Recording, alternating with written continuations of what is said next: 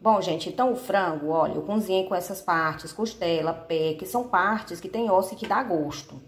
Aí aqui eu já desfiei o peito e bem temperadinho. Eu vou deixar o link aqui em cima para vocês de como eu faço o meu frango, que tem que ser assim com caldinho grosso, gostoso, com todas as verduras. Ó, aqui ainda ficou um pouquinho do caldo, mas todo o caldo eu já coloquei aqui. Aí eu tô adicionando já o frango, que é para o frango ir ficando com gosto do vatapá. Não adianta eu pegar e colocar o, o frango só no final, tá? Desfiei ele grosseiramente e à medida que eu vou mexendo aqui, ele vai é, se desfazendo, né? Ele vai se desfiando mais. Ó, como esse caldo ainda vai engrossar, aí vai ficar, eu vou ficar tipo batendo aqui, né? Aí os frangos vão desfiando. Olha o tamanho dos pedaços, mas não tem problema. Olha, adicionei o restante do frango e vou continuar mexendo. O meu fogo tá alto e aqui é igual brigadeiro, gente. Você tem que estar tá mexendo direto é, até chegar no ponto que é onde começa a desgrudar assim das laterais. Que fica bem grosso, né? E você prova e não pode ter gosto de cru. Eu só gosto de colocar o óleo quando tá... O óleo de dendê, né? O azeite de dendê. Quando tá na metade já pronto, tá certo? Então aqui eu vou mexer, quando estiver chegando no ponto eu vou botar. Já coloquei todo o restante do frango. Essa minha panela aqui tem 4 litros e meio. Então, ele vai reduzir e vai ficar mais ou menos... Vai reduzir uns dois dedos, assim, aqui ainda. Tá? Porque eu vou fazer ele bem grosso mesmo. Já acertei o sal e pronto. Eu cozinhei junto para dar gosto no caldo. Olha como o caldo tá bonito. Nesse caso, é, tem que ter caldo que é para você colocar lá e ficar com mais gosto. Aqui eu tirei o frango, e na panela ficou mais ou menos três dedos de caldo, assim. Então, eu só coloquei minha mistura aqui, tá? E vamos mexer até dar o ponto. Olha, não dá pra ver no vídeo, mas ele tá um pouquinho verde, é do cheiro verde que eu coloquei. Cebolinha e coentro, tá? Não é salsa. Coentro aqui, que no Nordeste a gente não usa salsa. Então, ó, aqui já tá começando a ficar desfiadinho, a massa vai começando a ficar pesada, né?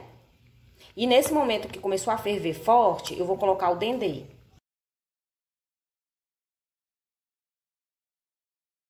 Esse vidrinho aqui, ele tem 100 ml, eu consigo fazer três vezes, é, digamos, 3 quilos de, de vatapá. 3 litros, né, na panela. Então, 100 ml é mais ou menos aí 30 ml por panela.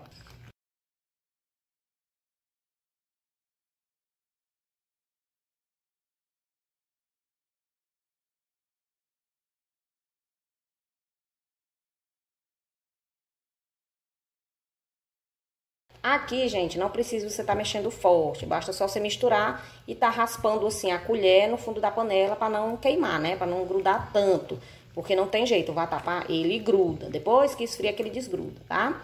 Se você não tiver a pimenta é, inteira, você coloca agora o molho. Não coloca o molho no, no liquidificador não, porque se você usa o liquidificador para açúcar e vitamina, ele fica gosto. E nem coloca o dendê também no liquidificador não, tá? O máximo que você pode fazer é cozinhar o frango com dendê. Também, ó, para que o frango fique com gosto mesmo do dendê. Sem o dendê, gente, isso daqui não fica com gosto de vatapá, porque tem que ter o dendê. Vocês podem substituir aí por algum outro óleo, mas não vai ficar com gosto, vai ficar com gosto só de uma massa. Tá? Então, se você não tiver a pimenta com as sementes e tudo, você pode usar o molho aqui nessa hora. Vamos mexendo. Tá quase no ponto, ó. Ele já reduziu um pouco, falta reduzir um pouquinho e ele vai começar a descolar das laterais. Né? Aqui, se você apagar, ele não vai ficar grosso. E olha o frango, como desfiou, né? O frango aqui, gente, é só pra dar textura, pra você não comer só a massa. Mas você pode fazer sem o frango, só com caldo de frango, ou só com leite, tá? O importante é o ponto. É importante também ele ter todas as verduras. E o dendê, porque sem o dendê não fica com o gosto de vatapá. Aí você pode é, fazer outras coisas aqui, mas não pode sair de perto, né? Você pode deixar aí, cozinhar um minuto sozinho. Enquanto isso aqui eu tô fazendo a salada num toque de mágica. Aí, nossa salada já tá pronta e nosso vatapá também, ó. Vou mostrar. Pronto, gente, ó, o vatapá ficou pronto. Tá vendo que ele tá lá desgrudando das laterais? É tipo brigadeiro. Quando eu mexo, você repara que, ó, ele solta das laterais. Se eu virar a panela, ó, ele solta, tá vendo? Vou mexer, ó, pra vocês verem. Ele reduziu mais ou menos aqui, gente, meio litro. Ou, ou 700 ml, assim, né? Tem bastante frango, mas você pode colocar menos se quiser. Ó, vou mostrar pra vocês o ponto, ó. É esse, que ele fica desgrudando lá. Aí aqui você decide se quer mais grosso ou não. Eu vou apagar. Ó, tá vendo? Desgrudou da panela, igual brigadeiro. Esse é o ponto, ó. Aí agora você apaga e deixa ele descansar pelo menos umas duas horas antes de comer, se você quiser. Porque ele vai demorar para esfriar, porque é uma massa, né? Igual brigadeiro. Ó, apaguei meu fogo e eu gosto de comer ele mais frio. Então aqui eu vou deixar descansar umas três horas antes de comer, vou comer ele morninho. Vocês vão ver como ele vai estar tá bem grosso, ó. É tipo brigadeiro mesmo, ó. E aí, quando ele tiver todo frio, eu vou mostrar pra vocês como ele fica bem consistente. Se você quiser, quando tiver gosto de cozido, né, você prova. Tendo gosto de cozido, você apaga o fogo. Que ele fica grossinho, mas o bom é comer ele grossinho. Bom, então aí depois, quando ele estiver pronto, eu mostro pra vocês. Quando ele estiver do jeito que eu gosto. Ah, gente, outra coisinha. Eu fiquei é, 40 minutos mexendo ele no fogo, tá? É, olha, minha panela, ela é 4 litros e meio. Então, eu acho que aqui tem 3 litros e meio ou 3 litros de vatapá. Rende 20 porções naquele pratinho de aniversário, tá? Mas se você fizer mais fino, vai render mais. O importante é estar tá cozido. Se lembra que depois que ele cozinhar assim, você pode colocar mais caldo ou mais leite para render. Um pouquinho. Aí você espera esfriar para ele ficar bem grossinho para servir. Porque se você for servir assim, ele tá bem mole, né? Então, se você fizer menos quantidade, aí você vai ficar só uns 20 minutos mexendo. Mas é aquela coisa que eu disse, dá pra fazer outras coisas por enquanto, desde que você não saia de perto. Você pode colocar aqui um papel filme também, pra ele não criar película, porque como ele é de leite, aí ele vai criar aquela película aqui, né? Eu, no caso, eu vou só tampar assim mesmo. Depois mostro pra vocês como ficou. Pronto, gente, ó, esfriou mais ou menos uma hora, ficou assim, ó. A textura dele. E aqui eu separei um pouquinho pra uma marmita fazer essa marmita aqui pra mandar pra uma pessoa lá em São Paulo, vocês acreditam? Ó.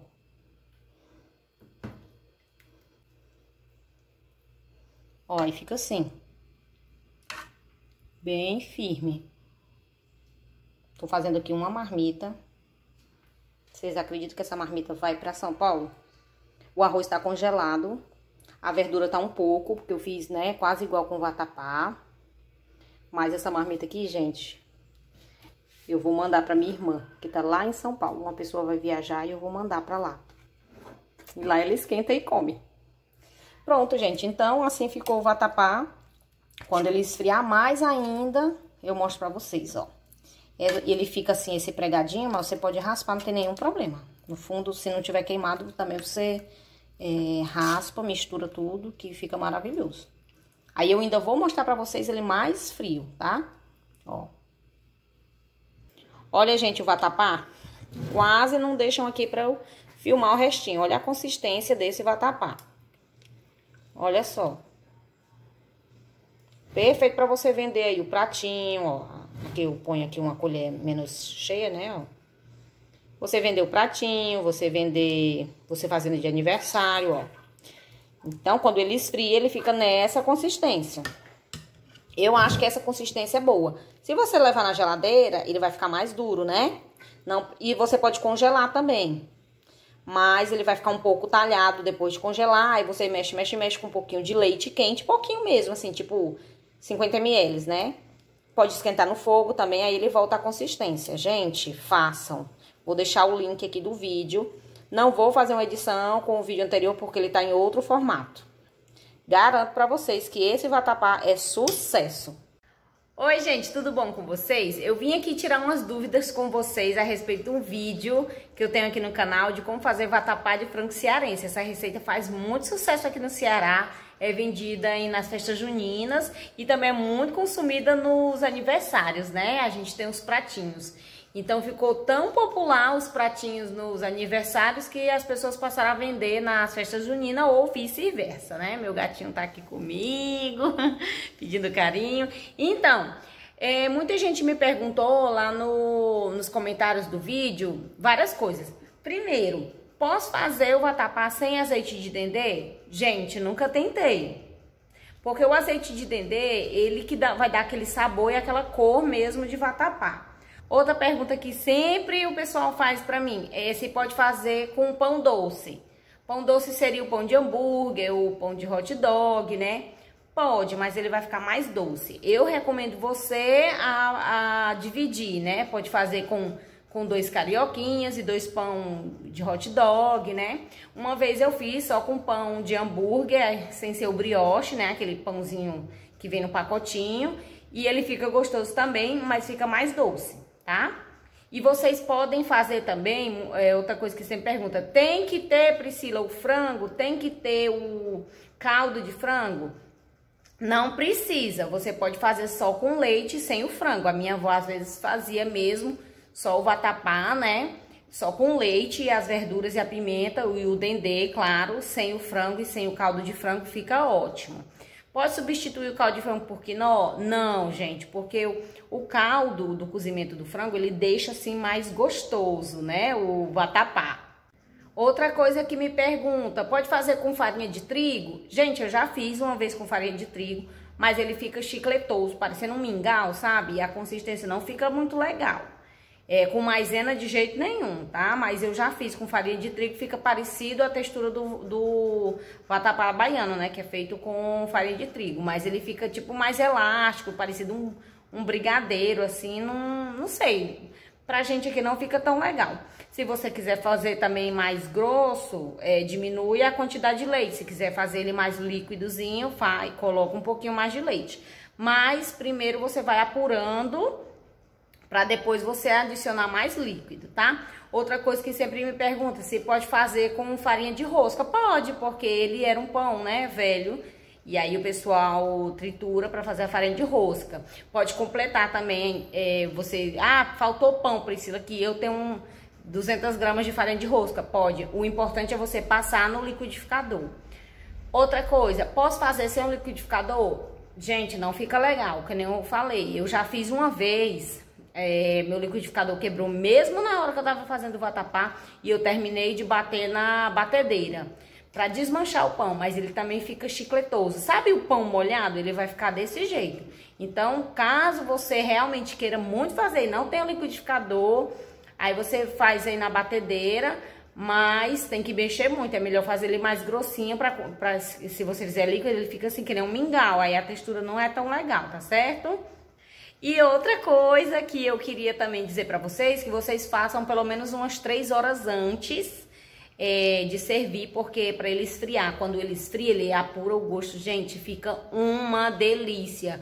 Faça essa receita. Eu vou deixar aqui embaixo, eu vou deixar aqui no card e vocês vão ver que delícia que é esse vatapá de frango cearense, tá? Vocês vão ver que essa receita vai fazer sucesso aí no aniversário de vocês e vocês também podem vender. Aí me perguntaram também, posso fazer, Priscila, com pão novo? Ah, eu não tenho pão velho. Gente, a gente faz o vatapá com pão velho para aproveitar, né? Para não desperdiçar. Então a gente pega, eu vou, por exemplo, eu vou guardando os pães, compro o pão. Aí até dois dias eu como o pão, faço torradinha, mas passou disso, eu já congelo. Já vou armazenando ali no congelador e aí quando eu tenho uns seis pães, eu pego e já faço o vatapá, né? Mas você pode sim comprar o pão do dia, né? Não tem problema. E você faz o seu vatapá que vai ficar muito gostoso. É só para não desperdiçar mesmo, tá? O, o, o, pão velho. Vocês podem substituir é, o tomate por extrato de tomate. Vocês podem, por acaso, se não tiver todas as verduras, de tirar aí o pimentão, por exemplo, né? O importante ele tem que ter cebola, cheiro verde e tomate, porque vai dar um gostinho. Quando você estiver passando no liquidificador, você já vai sentir aquele aroma assim de massa de vatapá. E uma outra coisa que sempre me pergunta que é muito importante, Priscila, posso cozinhar o frango só na água com sal?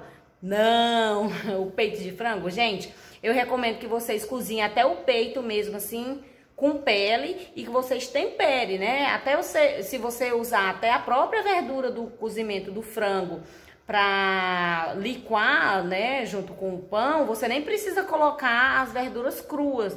Você pode colocar só a verdura do cozimento do frango. Se você fizer só o frango cozido, tipo escaldado com sal, e colocar lá no, no vatapá, ele só vai dar uma texturinha.